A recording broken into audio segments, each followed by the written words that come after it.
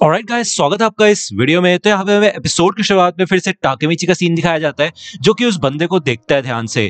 और वो यही सोचता है कि उसने इस बंदे को कभी ना कभी तो देखा है। इधर हकाई, टाकेमिची को पहचान जाता है और वो कहता है कि ऐसी शिकल क्यों बना रहे हो भाई? कैप्टन बनने के बाद तुम्हारी याददाश्त कमज़ोर हो गई है क्या? मैं हूँ हकाई शिवा सेकंड डिविजन का वाइस कैप्टन यहाँ पे पीछे से यूजुहा आती है और वो कहती है की चलो फिर यार, तुम्हारी बॉलिंग हो ही नहीं क्या खत्म? अब घर चलते हैं। तो हकाई कहता है की ना, जब तक मैं दस गेम्स ना खेल लू, तब तक मेरे को ऐसा महसूस ही नहीं होता की मैंने बॉलिंग की है। तो यहाँ पे टाकमिची को फाइनली याद आ जाता है कि प्रेजेंट में हकाई ब्लैक ड्रैगन का लीडर है। तो फिर इस समय वो अभी टोमान का हिस्सा क्यों है? टाकमिची याद करता है कि काजुटोरे ने उसको बताया था कि हकाई ब्लैक ड्रैगन का इलेवेंथ लीडर है। और ऐसी अफवाहें है कि हकाई ने पिछले लीडर को पैसों के लिए मार डाला था और ब्लैक ड्रैगन के ऊपर कब्जा कर लिया था। हिनाटा कहती है कि क्या बात है? वैसे हकाई कितना टॉल और स्लिम है, जिससे यहाँ पे टाकेमिची थोड़ा चिड़ जाता है, उसको जलसी फील होती है। और हकाई इधर एक ही बार में सारी की सारी पेंस को गिरा देता है और स्ट्राइक मारता है। और उसके बाद वो ताकेमिची और हिनाटा को स्पाइल पास करता है, जिससे वही टाकेमिची और ज़्यादा चिड़ जाता है और वो भी इधर अपने बॉलिंग स्किल्स को दिखाने के लिए आगे आता है। ये दोनों यहाँ पे कॉम्पीट करना शुरू कर देते हैं।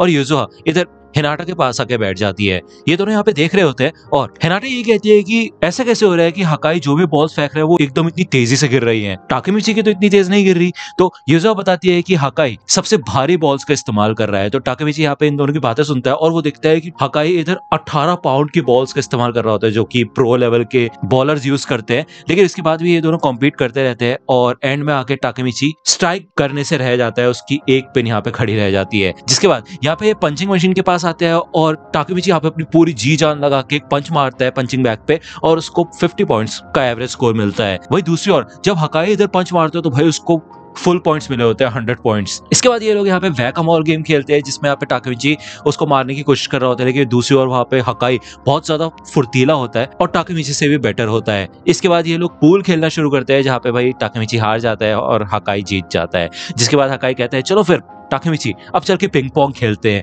तो यूजुआ कहती है, अरे चलो भी, यहाँ पे पिंग पोंग नहीं है, ठीक है? अब घर चलते हैं।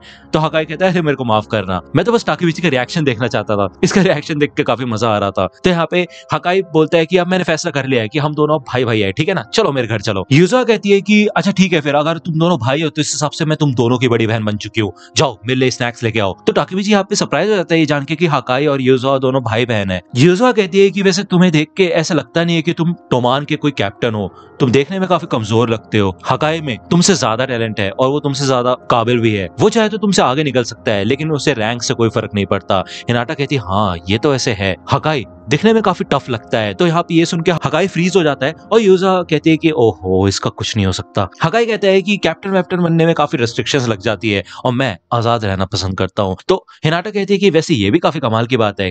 तो हकाई यहाँ पे फिर से फ्रीज हो जाता है। तो यूजा बताती है कि हकाई काफ़ी अजीब इंसान है। मेरे अलावा अगर कोई भी लड़की उससे बात करती है तो वो जम सा जाता है। तो ठाकुर यहाँ पे इनका ये ड्रामा देख रहा होता है और वो यही सोचता है कि क्या सच में हकाई शिवा ब्लैक ड्रैगन से है? यहाँ पे वो हकाई से पूछता है कि क्या तुम्हारी मित्सुया से बनती है तो हकाई कहता है कि, इतनी तमीज से क्यों बात कर रहे हो तुम? हम दोनों एक ही एज के हैं। ये सुन के भाई टाकमिची शौक हो जाता है और यूजो बताती है कि टाकशी हकाई के बड़े भाई की तरह है। तो टाकमिची कहता है, अरे हाँ मित्सुया का पूरा नाम मित्सुया टाकाशी है। हकाई बताता है कि टाकाशी ने ही उसको सिखाया कि एक होडलम को क्या करना चाहिए और क्या नहीं करना चाहिए। इसलिए वो सच में मेरे बड़े भाई की तरह है। यूजा बताती है कि हकाई टाकाशी से सच में काफ़ी ज़्यादा प्यार करता है और वो यहाँ पे हकाई का फ़ोन इन दोनों को दिखाती है और कहती है, देखो लॉक स्क्रीन पे उसने मित्सुया की फ़ोटो लगा रखी है। और देखो, मैंने किसकी फ़ोटो लगा रखी है अपने फ़ोन में? यहाँ पे उसने अपने फ़ोन में अपने भाई की फ़ोटो लगा रखी होती है, हकाई की। और टाके पीछे कहता है, वाह, ये तो काफ़ी अजीब बात है। यहाँ पे उसे ये जान के काफ़ी खुशी होती है कि इन दोनों की यहाँ पे थोड़ी थोड़ी दोस्ती हो रही है, लेकिन वो यही सोचता है कि आगे चल के मित्सुया गायब हो जाता है। तो क्या इसके पीछे हकाई का ही हाथ है? क्या उसी ने फ्यूचर में मित्सुया को गायब किया था? जब टाकेमिची हकाई से प्रेजेंट में मिला था, तब वो एकदम अलग इंसान था। कुछ ना कुछ तो ऐसा हुआ था, जिस वजह से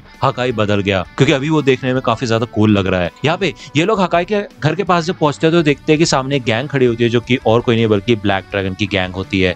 यूजो कहती है कि ऐसा लगता है कि हमारा भाई वापस आ चुका है। हकाई, इधर टाकेमिची से कहता है कि, हे टाकेमिची मुझे माफ़ करना, लेकिन तुम्हें यहाँ से निकलना होगा। इधर हाजी में होता है और वो हकाई को देखता है और कहता है कि क्या बात है, छोटा भाई भी इधर आ चुका है। टाकिमिची यहाँ पे यही सोचता है कि ये लोग है कौन? लेकिन जब वो इधर हाजिमे को देखता है तो उसे समझ आ जाता है कि ये तो प्रेजेंट में ब्लैक ड्रैगन का मेंबर हुआ करता था। इसका मतलब ये है कि बाइकर गैंग से इनका सामना हो रहा है। वो और कोई नहीं बल्कि ब्लैक ड्रैगन है। इनमें से एक टाकेमिची को पहचान जाता है और उनको पता चल जाता है कि टाकेमिची टोमान का कैप्टन है। इससे हाजी में काफ़ी ज़्यादा गुस्सा हो जाता है। वो कहते हैं कि, टोमान, हमारे इलाके में क्या कर रहा है? हाजी में कहते हैं कि, मैंने तुम्हारे बारे में सुना है टाकेमिची लेकिन हमारे बॉस ने हमें ये हुक्म दे रखा है कि अगर कोई भी गैंग मैंगर हमारे इलाके में आए तो हम उसको जान से मार डाले। यहाँ पे सीशु गैंग को ऑर्डर करता है कि वो टाकेमिची को पीटे और इधर यूजुआ, हिनाटो को कहते हैं, तुम यहाँ से निकल जाओ, क्योंकि ये लोग काफ़ी बेरहम है और ये लड़कियों पे भी दया नहीं करते। इधर हकाई आगे आता है और इनको रुकने के लिए कहता है। वो कहता है कि टाकेमिची मेरा दोस्त है, इसको कोई हाथ नहीं लगाएगा। तो हाजी में कहता है कि जो भी हो, लेकिन इसको फिर भी एक सबक तो सिखाना होगा। और वैसे भी ये गैंग तुम्हारा हुक्म नहीं मानेगी। हकाई कहता है कि मैं फिर से तुम्हें सावधान कर रहा हूँ, इनको छूना भी मत। यहाँ पे एक बंदा आगे आता और वो कहता है, तुम्हें सुनाई नहीं दिया? हम तुम्हारे ऑर्डर्स नहीं मानने वाले। हे, चलो, इन लड़कियों के भी बैंड बजाते हैं। लेकिन इतने भाई हकाई, एक ही पंच में इसकी वाट लगा देता है और भाई ये तो नीचे गिर जाता है। और हकाई कहता है कि मैंने बोला ना निकल जाओ यहाँ से। वही ये देख के तो ज़्यादातर मेंबर्स काफ़ी ज़्यादा डर जाते हैं। और हकाई, इधर टाकीमीची से माफ़ी माँगता है कि उसकी वजह से वो इन सब चीज़ों में फंस गया। और वो बताता है कि ब्लैक ड्रैगन का बॉस और कोई नहीं, बल्कि इनका बड़ा भाई टाइजू शिवा है। इधर हकाई पूछता है कि टाइजू किधर है? तो हाजी में बताता है कि वो एक कन्वीनियंस स्टोर पे गए हैं। बस आते ही होंगे। तो हकाई कहता है कि ओ गॉड पता नहीं इसको यहाँ आने की क्या ज़रूरत थी। वैसे तो कभी घर आता नहीं है। आज क्यों आ गया पता नहीं। यहाँ पे ये सुन के शीशो को काफ़ी गुस्सा आता है और वो इधर एक ब्लेड हकाई के गले पे रख देता है और कहता है कि अपनी जबान संभाल के बात करो। हमारे बॉस के बारे में फालतू बकवास करने की ज़रूरत नहीं है। नहीं तो मैं तुम्हें जान से मार डालूँगा। यहाँ पे यूजो आती है भाई और शीशु को लात मार के भाई दूर उड़ा देती है और वो कहती है की मेरे छोटे भाई से दूर रहो, समझे? इधर हाजी में शीशु से कहता है की, चलो भाई, शांत हो जाओ। वो बॉस के भाई बहन है, उनसे लड़ने की ज़रूरत नहीं है। तो शीशु कहता है की, मुझे कोई फ़र्क नहीं पड़ता। मैंने अपने बॉस की लॉयल्टी की कसम खाई है और मैं इनको सबक तो ज़रूर सिखाऊँगा। तो यहाँ पे टाकमिची सोचते हैं भाई, चल कर, ये कैसी गैंग है? टोमान से तो काफ़ी ज़्यादा अलग गैंग है ये। इनके कोई मोराल्स नहीं है।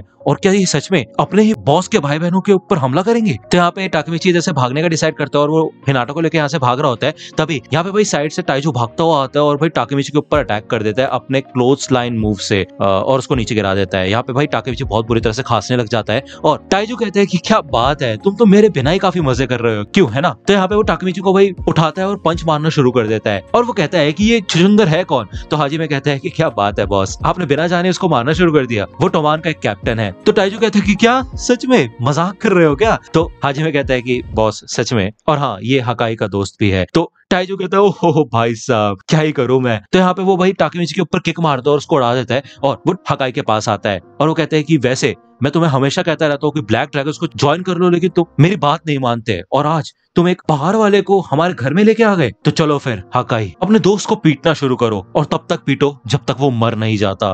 तो यहाँ पे भाई हकाई काफ़ी ज़्यादा डर जाता है और काफ़ी कंफ्यूज हो जाता है उसका पसीने छूट जाते हैं। वो यही सोचता है कि अब वो करे क्या? तो यार आ, ये कोई स्पॉलर नहीं है लेकिन मैं जस्ट इसको रैप अप कर दूँ अगर इस एपिसोड को। तो जैसा कि एपिसोड के बीच में बताया गया था कि हकाई ने पिछले लीडर को मार के ब्लैक ड्रैगन के ऊपर कब्जा कर लिया था। उसने पैसों के लिए पिछले लीडर को मार दिया था और वो इलेवेंथ लीडर बन गया था ब्लैक ड्रैगन का। इसका मतलब ये है कि वो आगे चल के अपने ही भाई को मार डालेगा। ऐसा कुछ होगा मेरे ख्याल से। तो मेरे ख्याल से क्या मतलब ये तो नॉर्मल सी चीज़ है। इसी एपिसोड में थोड़ा सोचोगे तो खुद ही पता चल जाएगी ये चीज़। तो ये कोई स्पॉलर नहीं है, ठीक है ना? जहाँ तक बात है यार एपिसोड्स की तो मुझे पता है दो तीन दिन पहले आ गए थे एपिसोड मैं लेट हूँ, मुझे पता है बट एक्चुअली मेरे फैमिली फ़ंक्शन था। शादी में गया हुआ था मैं। मैंने फ़ोटोज़ भी डाले इंस्टाग्राम पे, यार, झूठ नहीं बोल रहा, जाके चेकआउट कर लो लिंक आपको डिस्क्रिप्शन में मिल जाएगी, ठीक है? और नेक्स्ट एपिसोड आएगा यार सैटरडे या संडे को ही आएगा, ठीक है? तब तक आप वेट कर सकते हो। तब तक हम मॉप साइकिल आने की कोशिश करेंगे, ठीक है? एनेक्स प्लेन पे, और जहाँ तक बात कर रहे हैं नेक्स्ट प्लेन की तो यार नेक्स्ट प्लेन के ऊपर अभी हम, यार ब्लीच शुरू करने की कोशिश करेंगे, या फिर लोकिज्म देखते हैं। काफ़ी लोगों के कमेंट्स आ रहे हैं लोकिज्म के लिए। तो आप मेरे को कमेंट सेक्शन में बता सकते हो, नहीं तो मैं कम्युनिटी टैब में एक पोल कर लूँगा, पूछने के लिए आप लोगों से कि कौन सी एनिमे करनी है इसके साथ, ठीक है? मिलता हूँ आपसे अगले वीडियो में, तब तक के लिए गुड बाय तो दोस्तों, आज की वीडियो के लिए सिर्फ़ इतना ही। आई होप कि आपको ये वीडियो पसंद आई होगी, अगर आपको ये वीडियो पसंद आई हो तो प्लीज़ लाइक कीजिए, अपने दोस्तों के साथ शेयर कीजिए और मेरे चैनल को सब्सक्राइब करना मत भूलेगा। और अगर आप मुझे कॉन्टेक्ट करना चाहते हैं तो आप मुझे इंस्टाग्राम पे कॉन्टेक्ट कर सकते हैं। मेरे पेज के लिंक आपको डिस्क्रिप्शन में मिल जाएगी। मिलता हूँ आपसे अगले वीडियो में। तब तक के लिए गुड बाय